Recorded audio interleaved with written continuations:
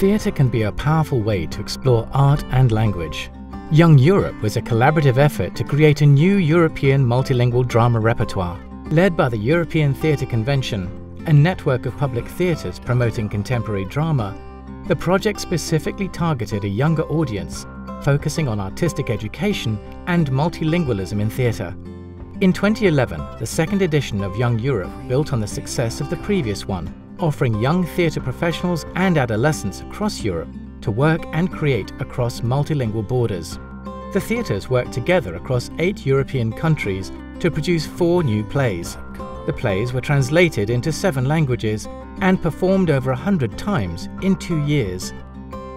The project aimed to develop a sustainable relationship between theatres and schools, with theatres complementing the formal education students received.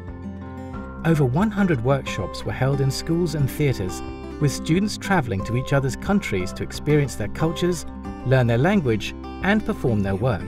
The project reached an even wider audience when all the new plays were streamed online at the Young Europe Festival in Berlin.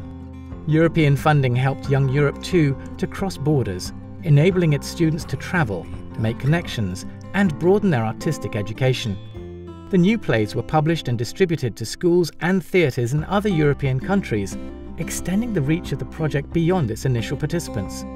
The organisers of Young Europe have been struck by the openness of its participants to go beyond boundaries and connect with peers in other European countries. Students will take this experience into the future, continuing to embrace the opportunities of theatre in Europe.